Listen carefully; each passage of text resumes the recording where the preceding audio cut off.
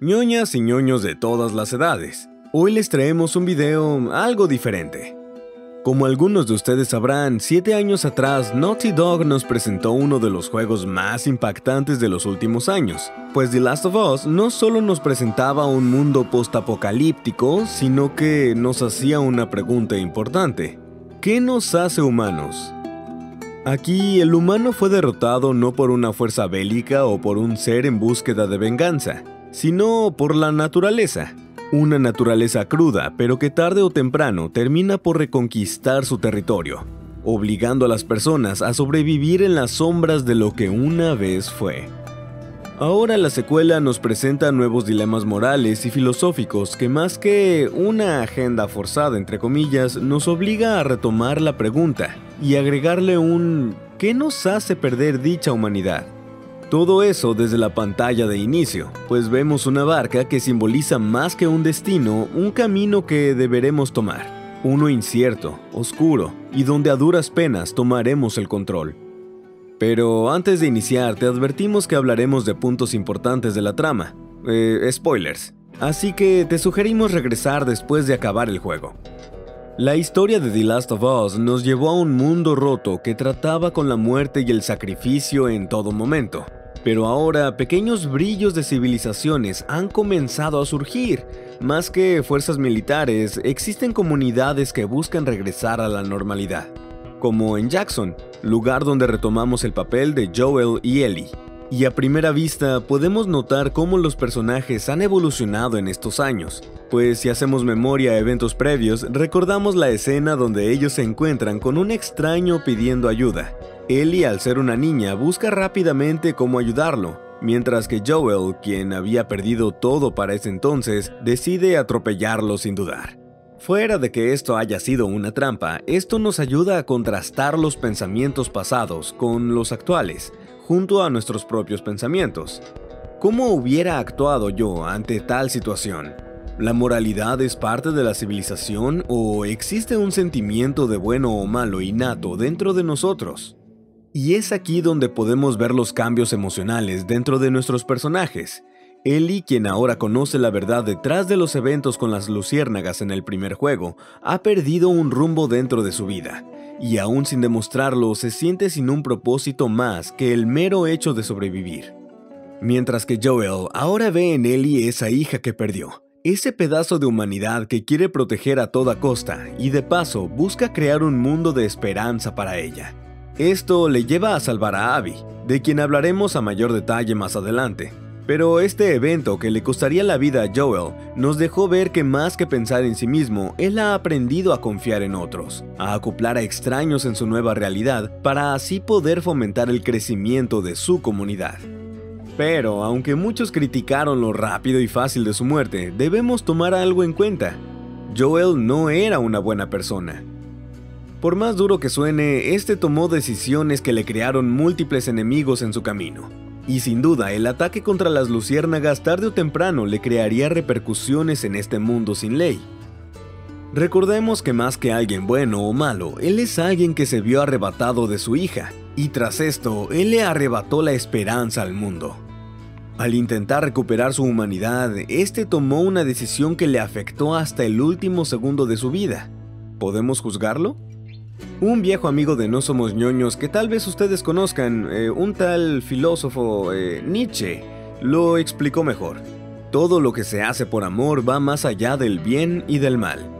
Su muerte más que el combustible para la trama nos recuerda que tarde o temprano debemos enfrentarnos a nuestro pasado, que la muerte no juzga si fuiste bueno o malo, simplemente llega sin explicaciones, llega de golpe y esto es algo que vemos una y otra vez a lo largo del juego. La muerte tiene otro significado en este mundo, y lo vemos en notas perdidas en los mapas de gente que buscaba fraternizar y se vio traicionada por desconocidos, por amigos o inclusive por familiares. Vemos el esqueleto de un padre esperando el regreso de sus hijos. Vemos a vecinos que fueron asesinados por el simple hecho de encontrarse en el lugar equivocado en el momento equivocado. Y es aquí donde abordamos algo muy significativo que podemos ver actualmente, la guerra por los ideales. Podemos ver a diario a movimientos como Black Lives Matter o guerras que comienzan por ideales políticos o religiosos que más que buscar una justificación buscan imponer un orden personal. Esto se refleja en grupos como los serafitas, un grupo cegado por la fe ciega y las reglas morales extremas impuestas que mantienen a las personas limitadas tanto en acciones como en pensamiento. Aún sin un profeta, ellos han creado una especie de Mesías o Salvador que castigue la libre expresión o la identidad de género, como es el caso de Levi, una niña obligada a servir más como un objeto de procreación, cuya decisión de apoyar a la comunidad desde otro extremo, como la cacería o la guerra, no es permitida ante estas leyes autoimpuestas. Levi nos recuerda una época que pareciera lejana, pero aún se vive, pues si alguien decide salir de un patrón de género es atacado hasta la muerte. Del otro lado podemos ver a los lobos, un grupo totalitarista pero a la vez civilizado, que cuenta con su propio Mesías demostrándonos la necesidad del humano de creer en algo, de seguir a alguien para escapar del caos. Y es en medio de este caos que Naughty Dog nos presenta dos historias en paralelo, la de Ellie y la de Abby.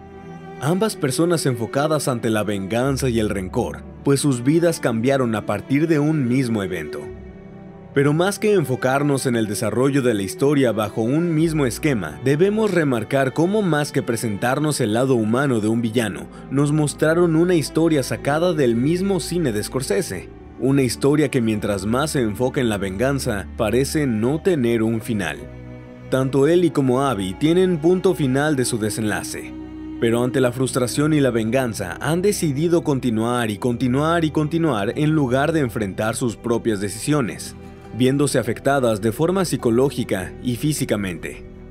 Más que una enseñanza de la venganza nunca es buena, mata el alma y la envenena, el juego nos muestra lo cansado que es seguir este camino, y que al final esto terminaría por consumirles a ellas sus mundos, y bueno, cada uno lo comprende de diferente manera. A Ellie al final no le queda nada, ni su nueva familia, ni la comunidad, ni la música, solo un pequeño rastro de humanidad. En resumen, la primera parte de The Last of Us nos demostró que los habitantes de este mundo podrían asemejar a una civilización.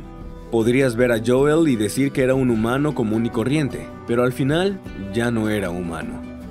Pero esta segunda parte nos intenta mostrar algo más, que aun cuando tu humanidad está al borde de destruirse, aun cuando hay un interminable ciclo de violencia y asesinatos, a veces todavía podemos sujetarnos a la poca humanidad que nos queda y sencillamente intentar vivir por algo o por alguien.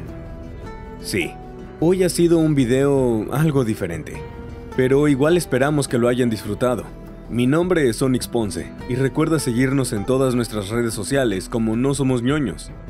Manténganse a salvo durante la pandemia, cuiden a sus seres queridos y no olviden que en un mundo que parece perder sentido cada vez más, aferrarnos a nuestra humanidad es de esas pocas cosas que aún valdrán la pena. Hasta luego.